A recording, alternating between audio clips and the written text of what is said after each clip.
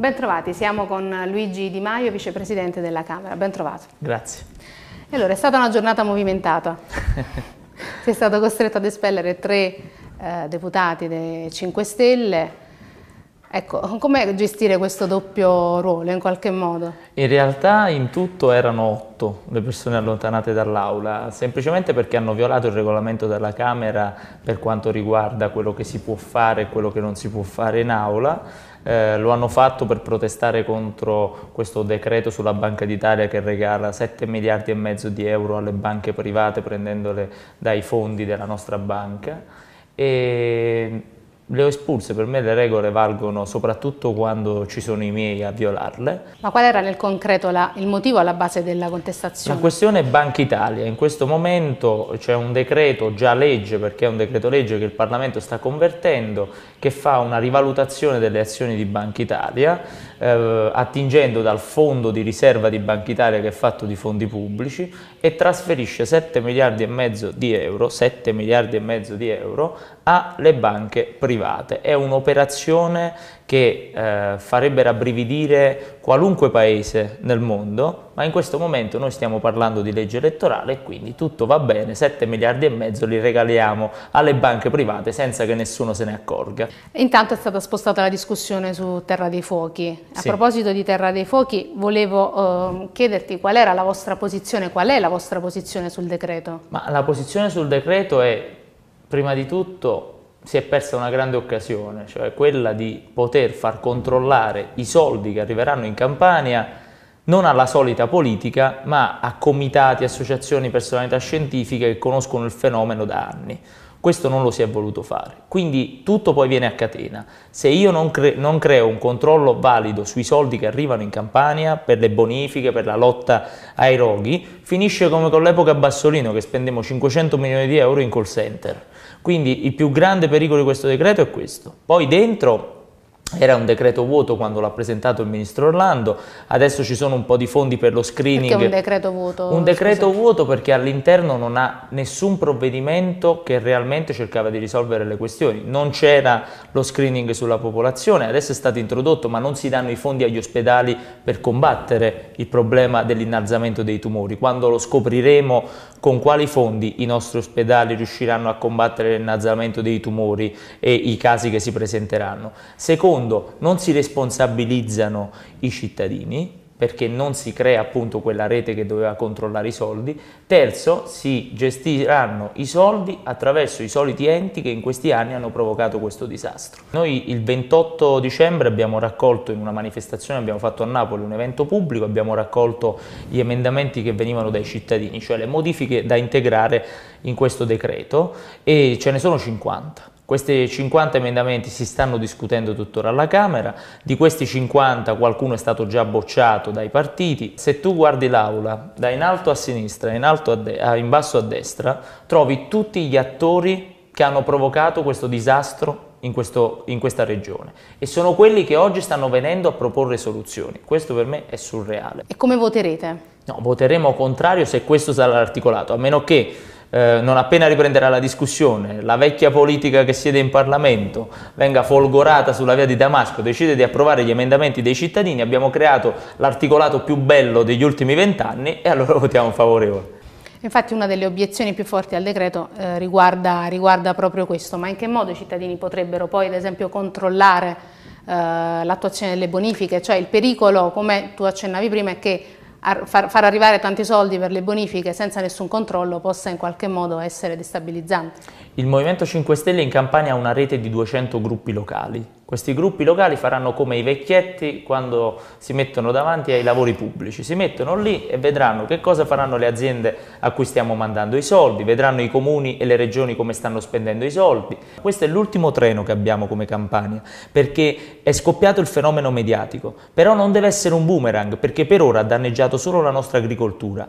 Era prevedibile, però adesso vogliamo risolvere il problema e tra 40 anni magari regalare questa terra di nuovo salubre alle future generazioni elezioni oppure vogliamo fare un grande spot elettorale come hanno fatto Renzi e Orlando, sono venuti qui, hanno ascoltato tutti, sono andati lì e hanno fatto capire che non hanno capito niente.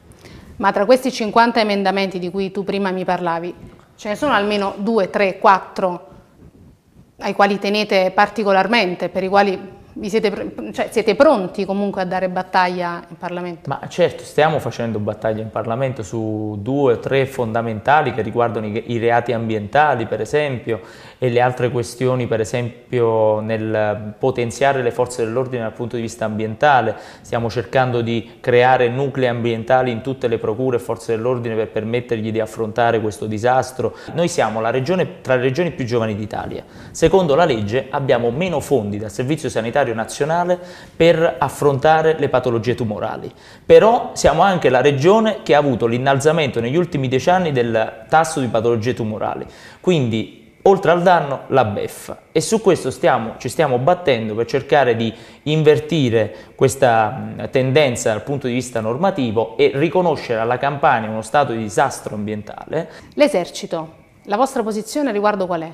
La nostra posizione iniziale era quella di utilizzare l'esercito eh, finché non, avremo, eh, finito il, non avessimo finito l'incontro con tutte le forze dell'ordine e le procure per cercare di capire qual era la soluzione migliore, c'è una nostra proposta di legge depositata che poi hanno anche un emendamento al decreto, è una proposta di legge Nunez che appunto riorganizza in Campania le forze dell'ordine proprio dal punto di vista ambientale. Le forze dell'ordine, quelle anche in tutta Italia, devono cominciare a ruotare intorno alle grandi tematiche ambientali perché sono state il vero business degli ultimi 30 anni e oggi finalmente si sta scoprendo qualche responsabilità, però mancano le competenze. La polizia fa un'inchiesta, fa un'indagine e magari deve chiamare sempre l'ARPAC per farsi mandare gli esperti, ma l'ARPAC non ce li ha tutti questi esperti. Poi cominciare a portare trasparenza anche in enti come l'ARPAC, perché questa è una regione nella quale gli unici dati pubblici che abbiamo sulla Terra dei Fuochi vengono dalla US Navy e dallo studio Sentieri cioè non vengono da enti pubblici dello Stato, della regione e della provincia. Non si può pensare di utilizzare i nostri militari come spot, li abbiamo già avuti a Napoli. Li abbiamo avuti nei, a fine anni 90, inizio anni 2000, poi li stiamo avendo ancora che affiancano la polizia, ma in sostanza mortifichiamo anche il ruolo dei militari in questo modo perché non hanno la possibilità di operare, fanno il presidio. Tra gli emendamenti bocciati c'è la questione dell'inceneritore di Giuliano. Sì eh, l'emendamento è arrivato in aula per la votazione, quindi significa che secondo gli uffici della Camera l'emendamento era ammissibile in quel decreto, quindi coerente con l'impianto del decreto. Quando è arrivato in aula, eh, Ermete Realacci, Presidente della Commissione Ambiente del PD, il PDL, tutti quanti hanno detto ma questa non è eh, una discussione che si deve fare qui. Io presiedevo io in quel momento. Quindi era ammissibile o non era ammissibile? Era ammissibile perché se no non si sarebbe votato. Invece l'abbiamo votato in aula, io presiedevo in quel momento e ho fatto presente al Presidente Realacci che l'emendamento era ammissibile, quindi era coerente col testo.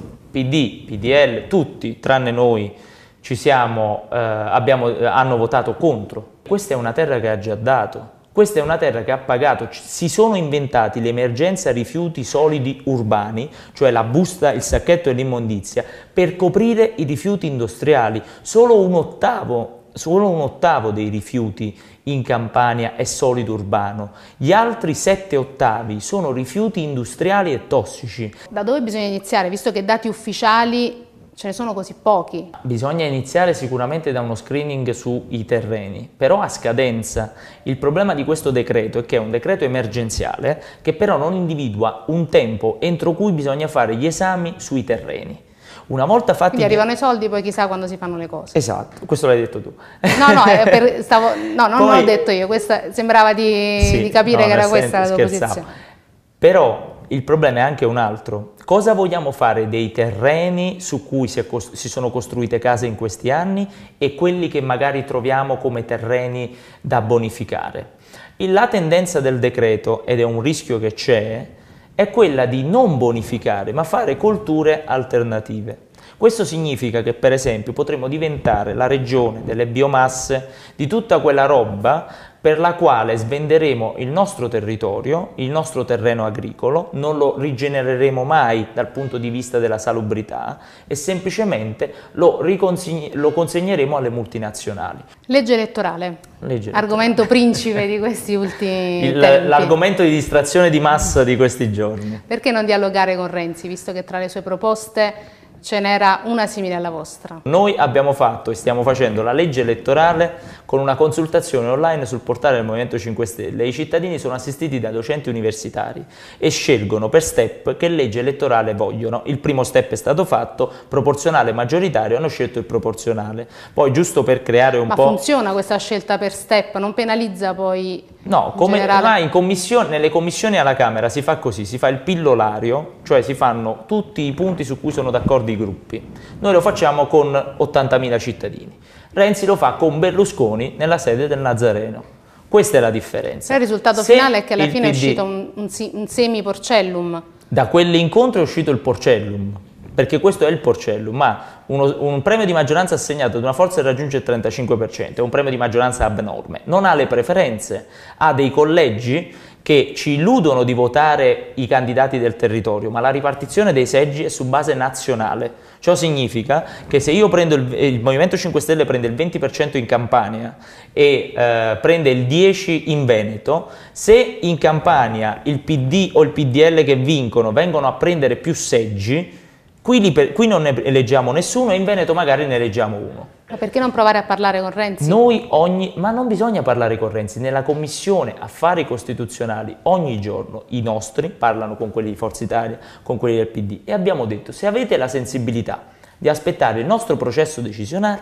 facciamo la nostra proposta di legge elettorale e poi ne discutiamo. Quindi tu dici sono loro che non hanno aspettato noi? No, io dico semplicemente che abbiamo due approcci completamente differenti. Loro vogliono fare gli accordi fuori dal Parlamento, noi vogliamo prendere le proposte dei cittadini, portarle in Parlamento e discuterle con i partiti di tutto l'emiciclo. È un approccio completamente differente. Io faccio il vicepresidente della Camera, io credo nella Camera dei Deputati, questi invece credono nell'accordo nelle stanze chiuse, lontane dai riflettori. Sono due approcci che da una parte hanno portato all'Italia che conosciamo. Gli accordi si sono sempre fatti da un'altra parte, poi Berlusconi li ha sempre fatti saltare. Tutti i leader del PD che sono andati a fare un accordo con Berlusconi non sono sopravvissuti a Berlusconi. Stai avvertendo Renzi? No, non lo sto avvertendo, credo che lui lo sappia benissimo. Evidentemente anche lui gode, vive quella sindrome dell'Arachiri nel Partito Democratico. Però al di là di questo, io credo che noi dobbiamo portare avanti la nostra linea di, di, dialogo con i cittadini, perché è sempre premiata. Questa legge l'avranno fatta 100.000 persone, sono sempre di più di Renzi e Berlusconi. Uno pregiudicato, Berlusconi, Renzi condannato in primo grado dalla Corte dei Conti per danno erariale quando faceva il Presidente della provincia di Firenze. Questa gente non dovrebbe decidere neanche su che moquette comprare a Montecitorio, stanno decidendo su una legge elettorale che è la più importante del nostro Paese dopo la legge di stabilità stabilità. Va bene, grazie Luigi Di Maio. Grazie a voi. Grazie a voi, ciao.